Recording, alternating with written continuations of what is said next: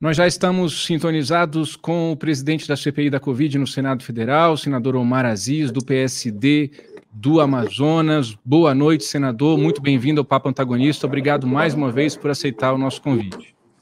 Boa noite uh, aos ouvintes aqui, telespectadores do Antagonista. E é um prazer estar aqui contigo, Diego.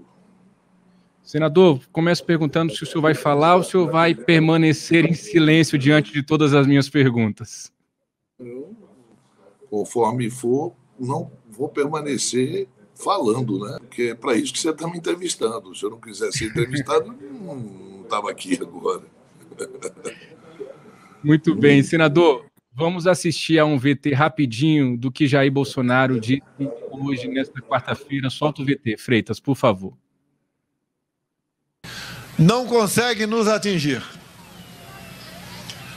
Não vai ser com mentiras, ou com CPI integrada por sete bandidos que vão nos tirar daqui.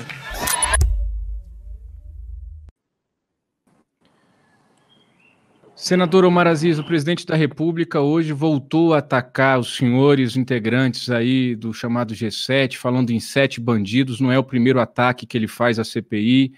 O que, que representa essas reações do presidente, na opinião do senhor, senador?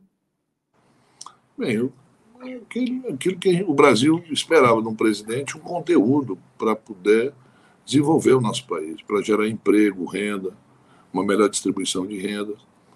Os brasileiros esperavam que o presidente fosse o comandante contra a maior guerra que o Brasil já enfrentou, que é o coronavírus. Nós esperávamos isso, ele como oriundo das Forças Armadas, ele tivesse que ir à frente combater isso. Mas aconteceu tudo ao contrário, né? O presidente propagou é, remédios que não são é, aprovados por cientistas, o presidente propagou a imunização de rebanho, que é um crime muito grande, porque os fortes se salvam, os fracos padecem e vão a óbito. E o presidente, quando era para comprar vacina, o governo do presidente Bolsonaro, quando era para comprar vacina, a um preço melhor a, um, a uma qualidade melhor, ele não quis comprar vacina. Agora a gente está entendendo qual foi o, o enredo que eles montaram.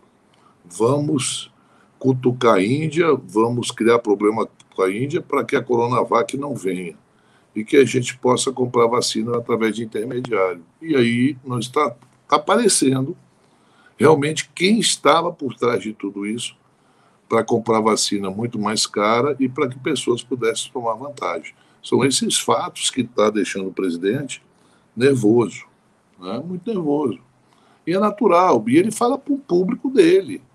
Ele fala no cercadinho, eu duvido que ele tivesse coragem de passar 15 minutos dando uma entrevista para ti aqui. Se você perguntasse quatro, cinco perguntas sobre economia, ele não te responderia. Se perguntasse três, quatro perguntas sobre atividade, enfim, não responderia. E agora, o brasileiro, muitos que votaram por uma arma, para ter uma arma, vão ter amanhã a conta mais cara, né? Então, dinheiro para comprar arma já não tinha. Agora, para pagar a conta de luz vai ser mais difícil. E Senador, olhar é... para o presidente, ele tem que olhar para o espelho quando ele fala isso. Porque tá. se alguém se acovardou nesse momento em relação a uma dura denúncia feita por um deputado federal da base dele, não foi a CPI. O presidente não tem que atacar a CPI, o presidente tem que atacar o deputado Luiz Miranda, que o acusa sistematicamente. Tem aproveitado todos os espaços, inclusive aqui, para dizer que o presidente tinha conhecimento das falcatruas que estavam tentando fazer com a Covaxin. E não tomou providência. Então, como ele está com medo de atacar o Luiz Miranda, o que, que ele faz? Ele ataca os membros da CPI.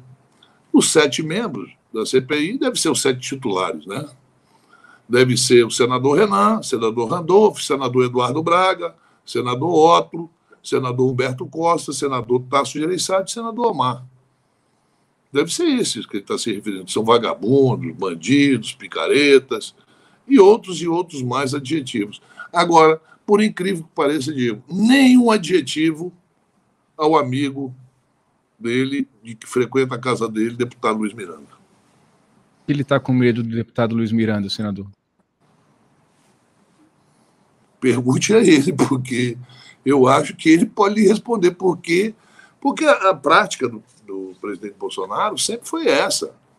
Ele, cutucado, ele sai com quatro pedras na mão, e aí ele usa as redes sociais e tal. Ele não respondeu Luiz Miranda.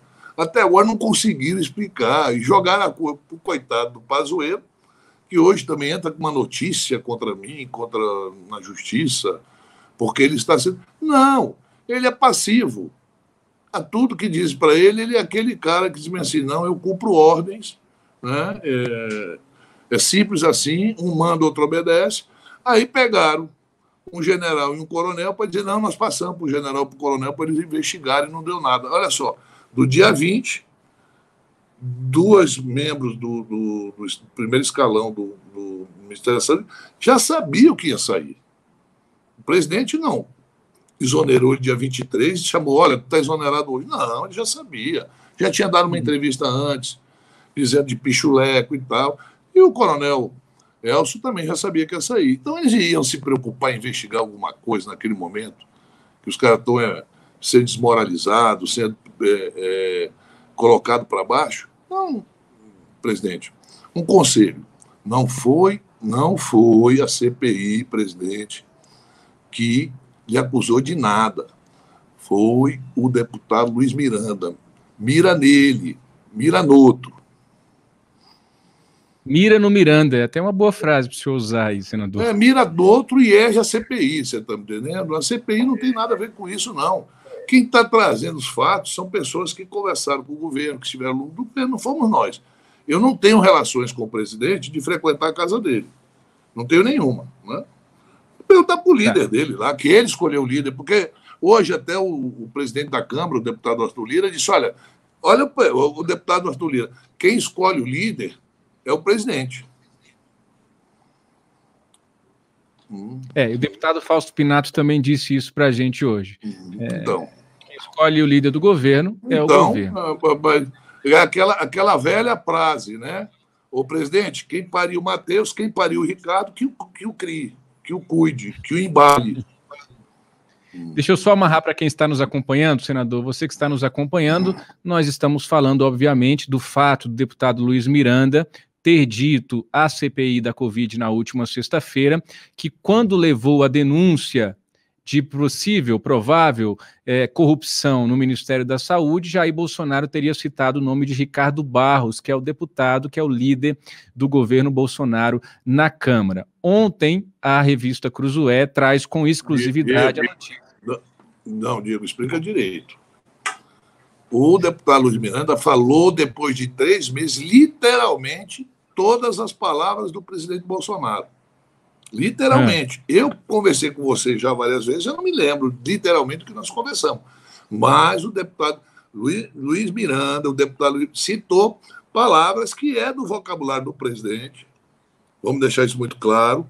Tá? Então é isso que acho que o deputado Luiz Miranda, é esse o receio, é esse o medo que o presidente tem de atacar o Luiz Miranda e o Luiz Miranda tiver que dizer, olha, está aqui, presidente. Está aqui, ó, foi gravado isso aqui. Não fui eu que gravei, porque não só estava eu na sala, foi o que ele disse para a gente.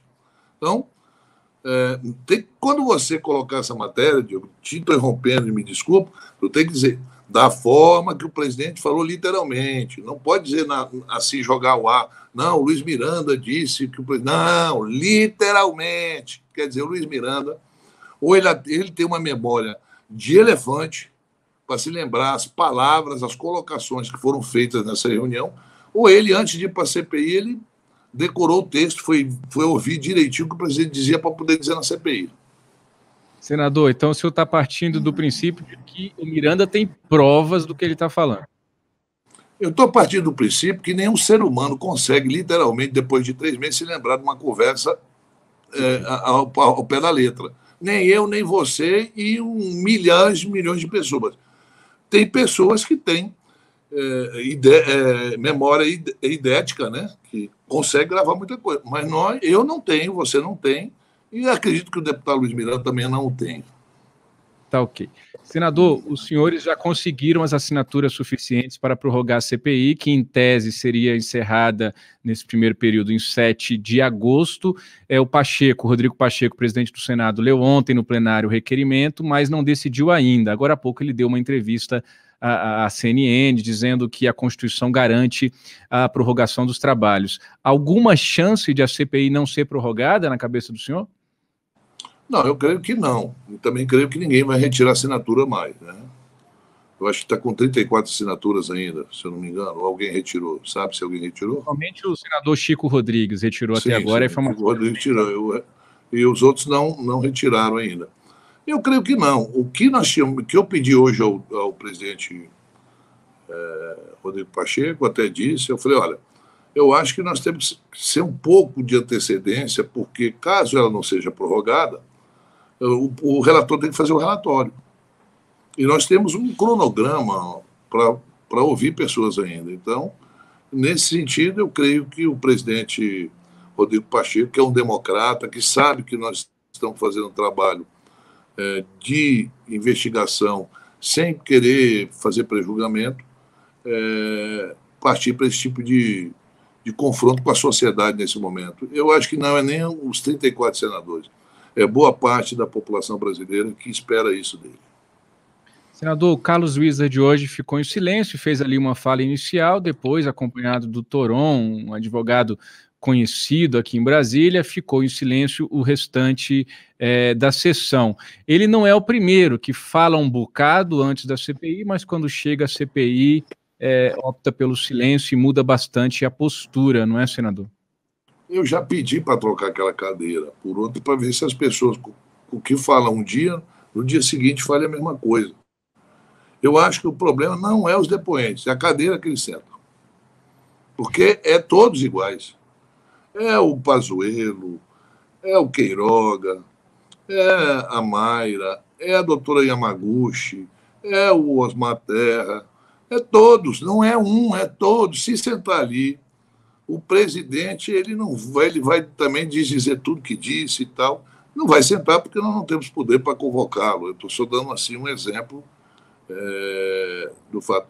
Mas hoje, hoje foi diferente. Os outros ainda ah, diziam uma coisa, se contradiziam e tal, mas tentavam. Esse hoje ficou mudo e ele era tão falante, tão falante, né? Ele diz: Olha, estou aqui. Só, sabe, morreu cinco pessoas. Sabe onde? Morreram cinco pessoas porque ficaram em casa e rindo. Você está entendendo? Aí, perguntado a ele hoje, o senador Randolph é, disse: O senhor se vacinou aonde?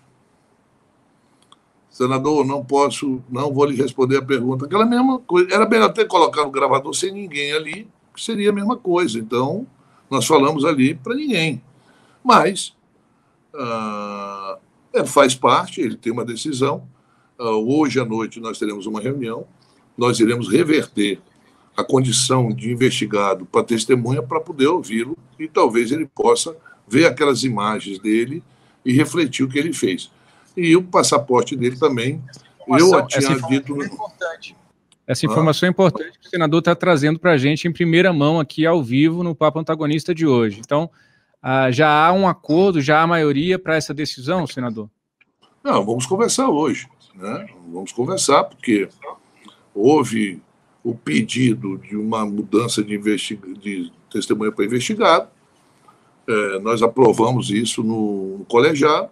E para desfazer isso, temos que retornar, porque a decisão do ministro Barroso é baseada que ele é testemunha, ele não é mais testemunha, ele é investigado. Então, como investigado, ele tem o direito de ficar calado. Né?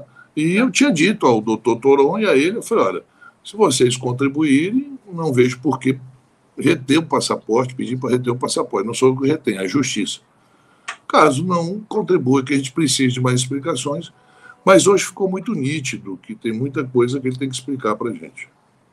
O Toron deu alguma sinalização se o cliente dele, se o Carlos Witt está disposto doutor a voltar? Toron, não, falei mais com o doutor Toron, ele entendeu errado a colocação do senador Otto, ele entendeu errado. O senador Otto, de forma nenhuma, ele desrespeitava. O senador Otto é uma pessoa que é um gentleman, é uma pessoa muito solícita, amigo, uma pessoa que tem relacionamento com todos nós. é uma pessoa muito prestativa, você liga a qualquer hora, o senador sempre à disposição, é capaz de, de tratar uma pessoa. E aí, o, o, o doutor Toron interpretou errado a forma como ele falou, aí deu aquele negócio, mas depois ficou tudo bem. São duas pessoas adultas e, e dois profissionais competentes nas suas áreas, o doutor Otto como médico, ele como advogado, que é um médico reconhecido, eu já conhecia o doutor Toron, já tinha ouvido falar muito dele. Ele atua muito aqui no, no Supremo, no STJ, no TRF, é uma pessoa conhecida. Mas, ou ele interpretou errado o, o, o senador Otto. O senador Otto, de forma nenhuma, quis agredir, ser agressivo, nada. O senador Otto, como todos os senadores, ficaram ali falando para a parede. Né? A parede que estava ali não era um, uma, um cidadão que poderia ajudar a gente nesse momento que o Brasil passa.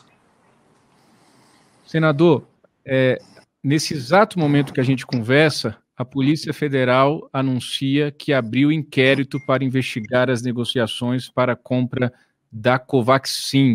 Essa notícia já está no site do antagonista, notícia de agora que o repórter Renan Ramalho traz para a gente. Muda, muda alguma coisa nas investigações da CPI?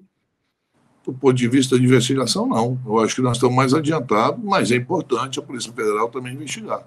Agora, Uh, não vou aí criticar o diretor nem nada, porque na época ele não era diretor, ele não tem culpa, mas um pouco tardia, né?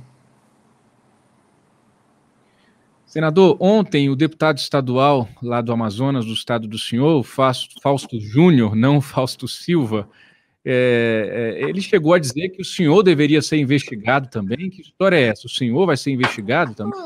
Eu estou sendo investigado há muito tempo há cinco anos, já faz seis anos, e nunca me denunciaram. Eu não sou réu em ação nenhuma. Procure qualquer ação, em qualquer lugar, em qualquer STF, STJ, é, TRF, Justiça Comum, não tem. Eu não sou réu em nenhuma ação.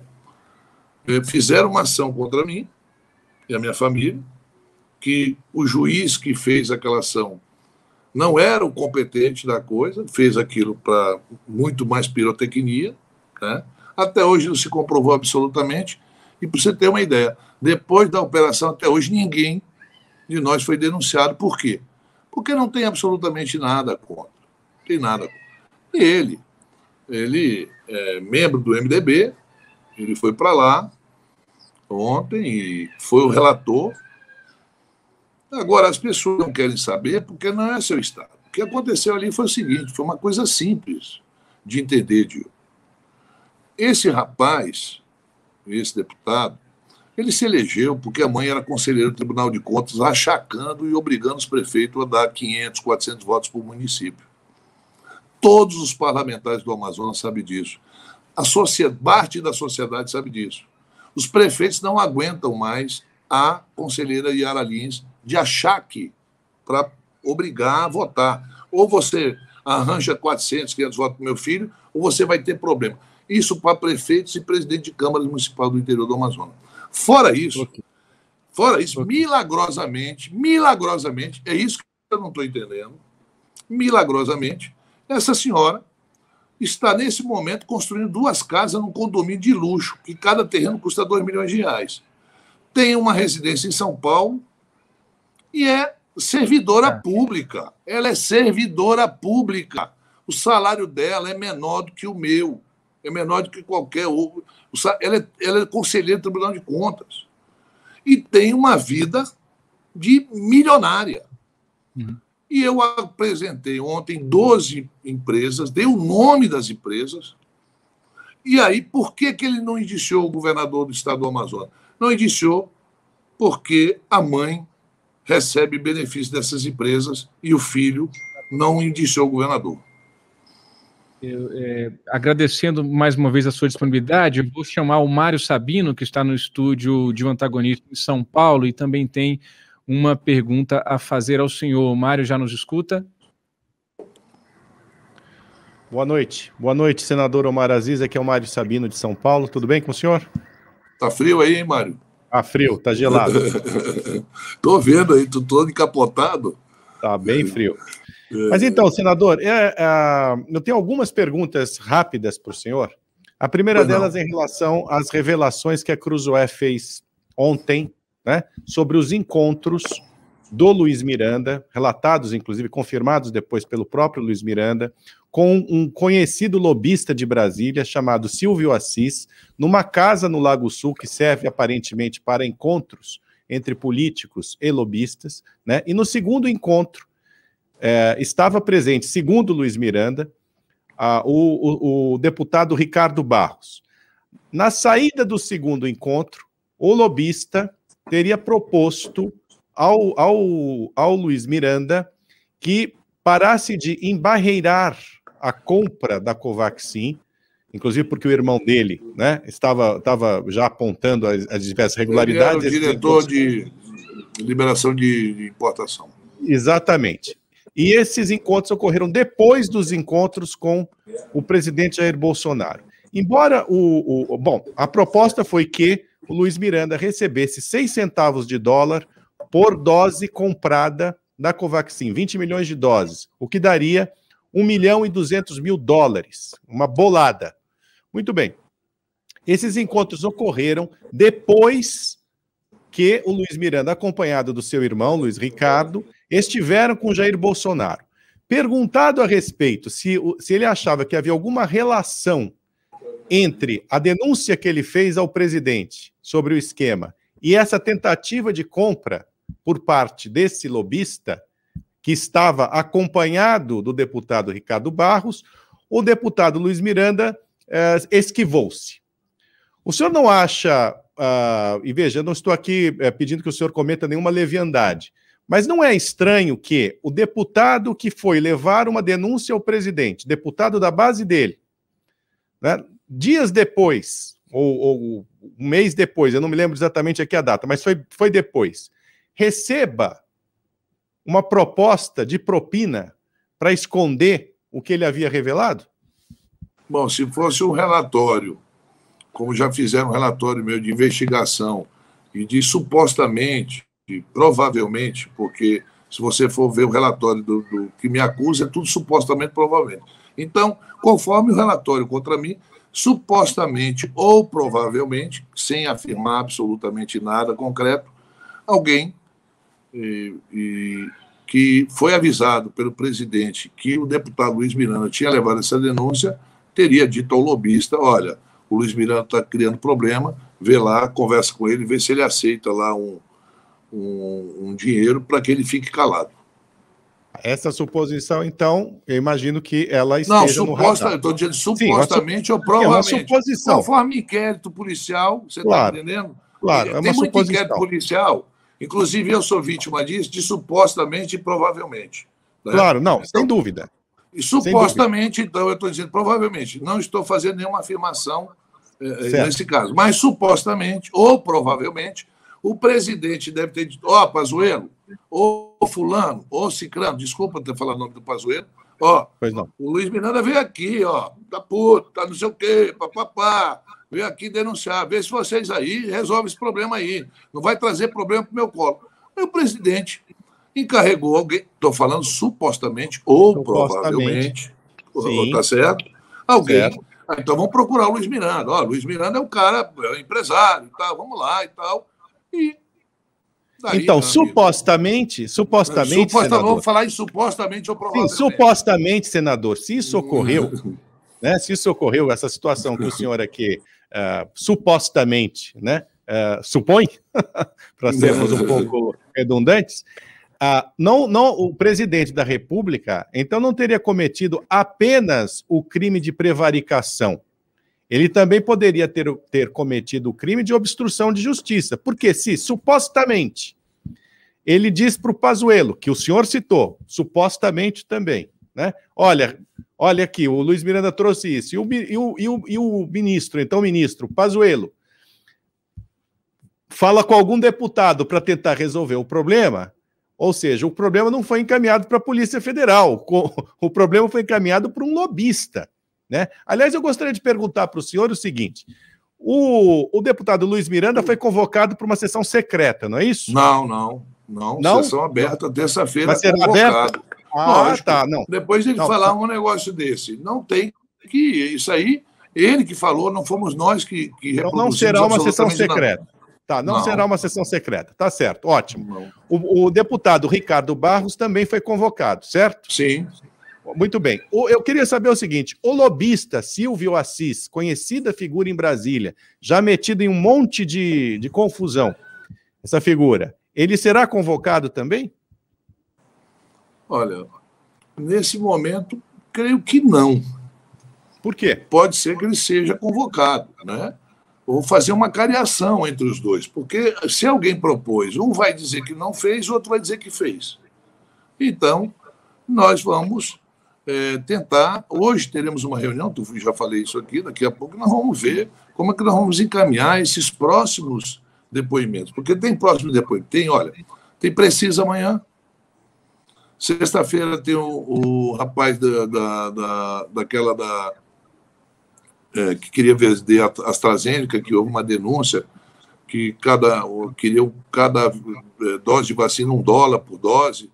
Né? Esse também será. Então, nós uhum. estamos vendo que os valores são parecidos, um dólar, 60 centavos de dólar, você está me entendendo? Então, é, nós temos que ver, é, porque levar lá o, o lobista, ele não vai falar absolutamente O, o senador, nada. mas, mas o senhor não acha que fica estranho não levar um lobista? Isso, isso não, aqui pode... eu estou porque é o seguinte, é, um lobista. Estou fazendo aqui o seguinte, eu estou lhe falando uma coisa, Mário, uhum. que eu não posso aqui dizer para você. Eu creio que nós temos que ouvir todos. Nós vamos tá ouvir certo. o Ricardo Barro, nós vamos ouvir o, o Luiz Miranda e temos que ouvir o lobista. Agora, o, seu... o melhor de tudo seria uma cariação entre eles. Certo, não, ok. Eu, eu, a, a, pergunta, assim, eu, eu, o jornalista é sempre o porta-voz da, da população, né? É, do, dos eleitores, no caso, dos cidadãos, os que pagam impostos e tudo mais. A, o, senhor não, a, o senhor não acredita, por exemplo, que haverá muita resistência para que o, o, o lobista Silvio Assis seja ouvido pela CPI, justamente pelo fato dele ser lobista de longa data? e manter relações, ah, digamos assim, pouco republicanas, muitas vezes, com uma quantidade grande de políticos? Eu não ele pode conheço. ser um homem-bomba? Ele pode ser um homem-bomba, por exemplo? Há, há esse, esse temor? Olha, eu, não eu bomba para o Bolsonaro, bomba para o sistema. Eu não conheço. Eu falar alguma coisa sobre ele nesse momento é muito difícil. Eu não vi nenhuma declaração dele. Eu não sei se ele desmentiu ou não desmentiu. Ele desmentiu então, para a revista Cruzoé. Ele não então, desmentiu, os, ele não desmentiu os encontros. Ah, isso ele não dá, porque tinha testemunha. Exato. Isso aí não dá para dizer. Né? tratar de vacina, exatamente. Aí, então não, não deu para ali não deu para usar o supostamente, entendeu, senador? Não, dá para usar supostamente. Aí, aí não. não dá para Acho que eu acho que sim, ele deve ser ouvido e acho que sim é importante quando há uma negativa entre os dois, é importante ter uma cariação. Tá certo. Eu, a, a, última pergunta só que eu gostaria de fazer para o senhor é a seguinte. A, desde o início da CPI, nós, nós e eu, eu venho batendo a tecla de que, de fato, provas sobre a má conduta, conduta, é, eu diria criminosa, sou eu que estou dizendo, uh, criminosa do presidente da República no trato da pandemia, no combate à pandemia, as provas elas são explícitas, elas estão no YouTube, elas estão na TV, elas estão nos jornais, elas estão nos sites, as frases, as atitudes. Né? Ah, agora tem um novo componente, que é o, o componente, digamos assim, supostamente de corrupção, né? ou prevaricação. Muito bem, é um, é um componente novo. No entanto, a pergunta que todo mundo faz e que aqui eu, eu expresso é a seguinte: as culpas do presidente Jair Bolsonaro elas já estão evidentes. É óbvio que é preciso haver um processo formal, a CPI é um processo formal, né? Mas na nossa última conversa aqui, neste programa, com o, com o senador Tasso Gereissati, né, eu perguntei a ele: o senhor não acha que o resultado da CPI, né? Chega-se lá, faz-se um relatório, apontam as, as culpas são apontadas e encaminha-se isso ao Ministério Público para investigação. Isso não é muito pouco? a fazer em relação ao presidente da República, que contribuiu para a morte de mais de meio milhão de brasileiros? Eu, eu, a, a, eu vou chegar lá. O processo, um processo criminal, uma investigação criminal, ela independe de um processo político. Né? E o processo político é um processo que teria que ser, comprovadas as culpas que, na, que já estão, na verdade, aí, estão muito claras, É, e, e, eu não estou aqui nem colocando a história da prevaricação, eu estou falando mesmo da, do trato à pandemia, na, na, na falta de vacina tal. Itália, Isso não seria já um caso de impeachment? Exato, mas não seria já um caso de impeachment? Mas porque, aí, veja bem. Porque, olha, o senador Tasso, só para completar meu raciocínio, é, senador, se eu me desculpe, o senador Tasso Uh, foi o que um mês e meio, dois meses atrás, disse que não, que não, que o impeachment seria muito traumático, que, que era eh, preciso investigar, que a CPI já estava tendo um papel benéfico porque a, o governo havia se mexido para comprar vacinas, para tomar determinadas atitudes. Só que o, o, o senador Tasso, né, já está, já falou para a própria Cruzoé na, na, na, última semana, é, em entrevista, disse que já que, que, que a hipótese de impeachment já está na mesa. Então, a, a, a, eu acho que todo mundo se pergunta o seguinte: como é que podemos manter um presidente da República desses é, é, em meio a uma guerra contra uma doença que continua a matar, a matar a economia, a matar os cidadãos, a matar a esperança? Né? É, é, é impossível combater a pandemia com o presidente Jair Bolsonaro à frente do, do, do processo. Então, não seria o caso de, de, de, de já se, de, de encerrar essa, essa CPI da Covid? Né? Eu não sei se é o caso de, de prorrogar. Por que, que a gente tem que prorrogar a agonia do Brasil? Faz-se logo o relatório, encaminha-se isso ao Ministério Público e, e, e, e, o processo político de impeachment eh, já pode ser iniciado. É, eu, eu, gostaria muito de entender o, o que, que os políticos é, responsáveis pela condução do país, como o senhor, né, pensam a respeito disso, porque a população não, não vê no, no, no, no, presidente Jair Bolsonaro um comandante à altura de, de, de, combater a pandemia. Pelo contrário, ele se, ele, ele se comporta como aliado do vírus. Olha, Mário, você falou muito bem é, em relação a tudo que está se passando no Brasil. Eu concordo com você em tudo. Em relação ao impeachment, quando o senador Tassi fala que é traumático, é, é traumático para o país, é muito traumático, até porque você tem que mobilizar toda uma sociedade no momento da pandemia. O Congresso, ele, principalmente a Câmara, para abrir, é, sem uma pressão popular, não vai abrir, não abrirá, ele tem maioria tranquila hoje, precisaria é, de muito voto para iniciar um processo de impedimento do presidente. Mas o mais importante disso tudo é que essa guerra que nós estávamos perdendo antes da CPI, Mari, você há de concordar comigo, nós estávamos perdendo de feio em todo, em grande parte da opinião pública. Porque a mobilização na, nas mídias em relação ao apoio ao presidente era muito maior que tem hoje.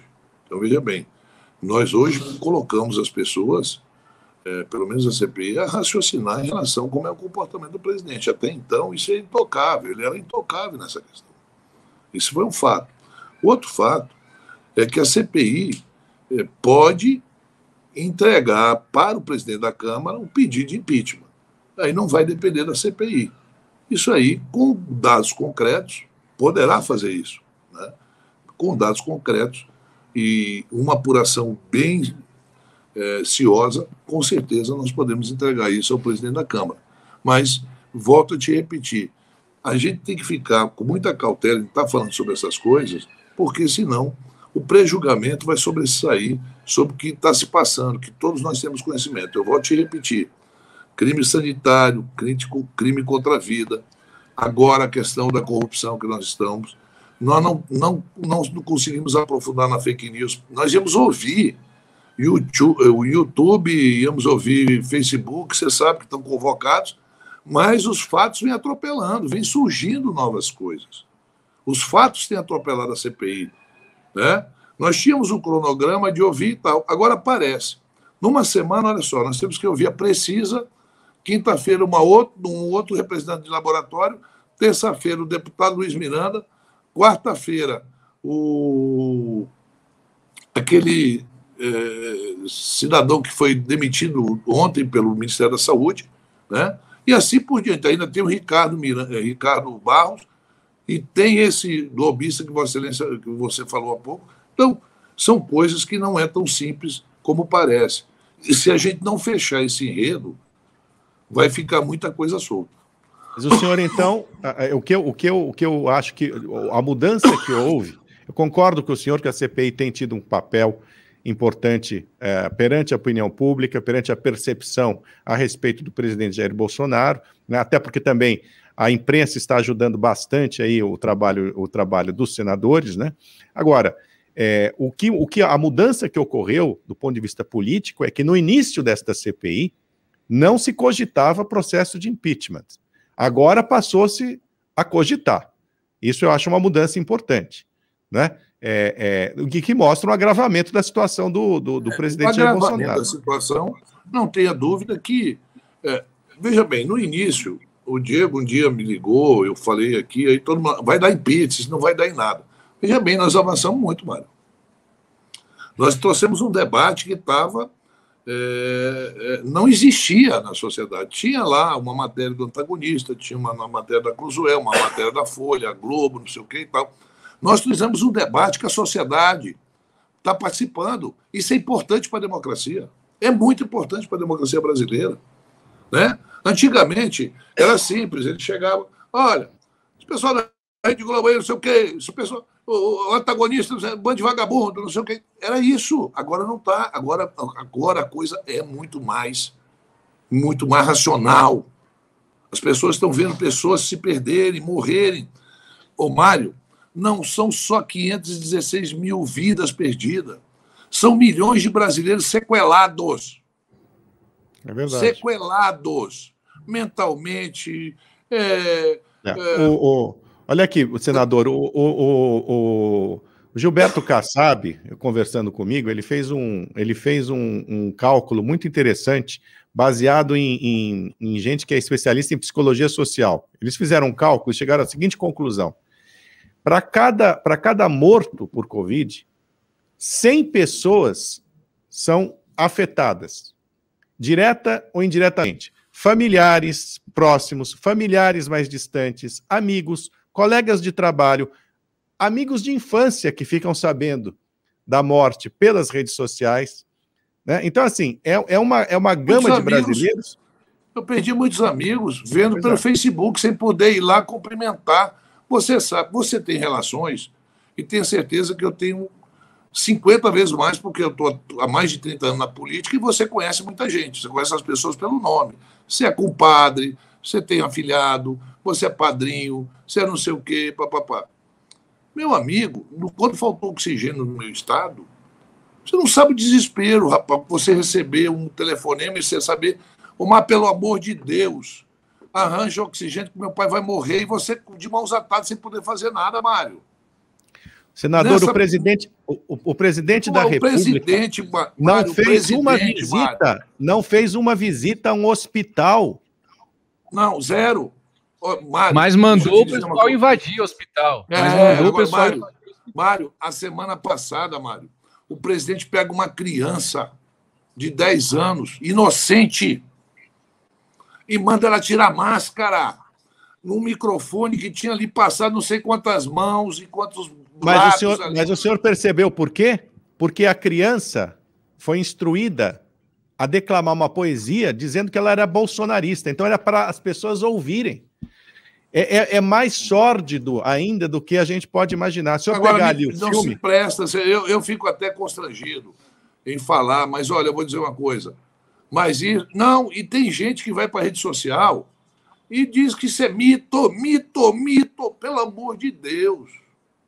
Sabe? A autodestruição política, a autofagia na política brasileira criou isso. Criou isso racionalmente. Racionalmente. Não se tem nenhuma comparação na história brasileira. E olha, e talvez tenha esse tipo de pessoas e, republiquetas na África, republiquetas na América Central, nem na América do Sul não creio que tenha uma coisa parecida. Não tem coisa parecida. Você diz, olha, Omar, você às vezes se exalta, você fica nervoso. Eu fico indignado em ouvir alguns discursos, amigo. Eu juro para você. Eu não tenho mais idade, tá certo? Para as pessoas achar que, olha, vai lá um moleque te esculhamba e tal. É, meu amigo, eu já fui tudo na vida, já fui governador, vereador, secretário de segurança, secretário de obra, eu já fui é, vice-governador, vice-prefeito, deputado estadual, Hoje sou senador da República. Lógico que eu tenho um legado enorme, construí muitas coisas na vida. Agora, meu amigo, eu nunca vi nada parecido. Eu, eu. nunca vi nada parecido. Não é eu. Incompetência administrativa, não é incompetência administrativa. Veja bem. Não é isso. Isso até ele já disse. Olha, eu não tenho como saber. Ele sabe da minha vida, ele sabe que nós somos picareta, bandido e tudo mais. Mas não sabe o que se passa no ministério, rapaz. E tem gente ainda, você está me entendendo? Bajulando e adulando. É anormal. É anormal. Não tem nada parecido. Absolutamente nada parecido. Então, veja é. bem, eu estou aí, sou exposto de manhã, de tarde, de noite, tá certo? Por uma causa que ia tentar minimizar o número de mortes. E tem gente brincando com isso. Aí eu tenho que ver o Carlos Wizard lá. Olha, só morreu cinco pessoas. Sabe onde é? Porque ficaram em casa. Olha, olha, aqui, senador. Eu não, eu não sei de onde essa gente saiu. Eu não sei dessa gente. Não, de, essa gente saiu, não. Gente Elas já existiam. Sim, mas, Elas mas como... existiam. Só que, veja bem, veja bem, hoje você vê, rapaz, é, é, é, você pega e tu olha a, a, capacidade intelectual. E os imbecis que querem discutir direita e esquerda sem nunca ter lido um livro? Hã? E esses imbecis aí? Sabe nem o que, que é direita? Olha só, a hipocrisia em falar em Deus, em Jesus e não sei o quê. Meu amigo, fala em família, família, pátria, família acima de tudo, Deus acima de todos. Ótimo. E a prática? E a prática? E o ódio? Quando foi que Jesus pregou o ódio? Aonde que está na Bíblia que Jesus pregou o ódio. E esses cristãos aí pregam ódio. Vão para televisão. Ser, deve ser má Hã? tradução, viu, senador? Deve ser, deve ser Bíblia mal traduzida, viu? É Bíblia mal traduzida. eu não conheço. Amigos, eu tenho que dizer eu tenho que dizer para vocês que eu tenho agora um outro compromisso. Eu já estou uma imagine. hora aqui contigo. Senador, eu agradeço. Eu agradeço, agradeço o espaço e desculpa se eu falei muito, mas eu, eu, eu, a gente está vivendo um momento que nós teríamos que estar discutindo você está na questão ambiental, nós teríamos que estar discutindo a questão econômica brasileira e ter um presidente dizendo, não, nós temos um presidente que está cuidando da saúde dos brasileiros. Nós não conseguimos debater absolutamente nada no Brasil hoje. Zero. Você não debate moradia, você não debate é, programas sociais, você não debate é, é, distribuição de renda, você não debate absolutamente nada. Né? É você isso, vai para uma é... base militar, você vai para uma base militar e desanca a falar mal é, dos políticos. Agora, esses mesmos políticos hoje, que lá atrás era que tinha que ser preso, tinha que ser esquartejado, é a base. É, essa é, é, tem que tirar o sujeito de lá, senador. Tem que tirar o sujeito de lá. Muito obrigado, viu? Eu que agradeço, Mário, eu que agradeço, Diego. Prazer em falar com vocês. Diego, fala. Só uma, uma ponderação. É, é, pela fala do senhor, imagino então que esses dois assuntos ainda vão ser debatidos entre vocês. Mas eu preciso dizer que no meio de um punhado de requerimentos que foram aprovados hoje em bloco, talvez o senhor não tenha tido conhecimento ainda. Mas, de fato, os requerimentos aprovados hoje pela manhã incluem a sessão secreta do Luiz Miranda e a convocação do lobista Silvio Assis. Então, eu não sei se vocês ainda vão decidir. Meu amigo, deixa eu dizer uma coisa. Eu vou, eu vou dizer para vocês. Nós temos várias pessoas, várias pessoas que são votadas lá. E desculpa eu não saber dessa informação, porque eu claro, não, claro, não, não é requerimento meu. Tá bom? Que, que são é muitos. Muito coisa. obrigado, senador. Obrigado, Mário. Obrigado aos Obrigado. telespectadores, logo, aos ouvintes da, do antagonista e da revista Cruzeiro. Muito obrigado pelo espaço.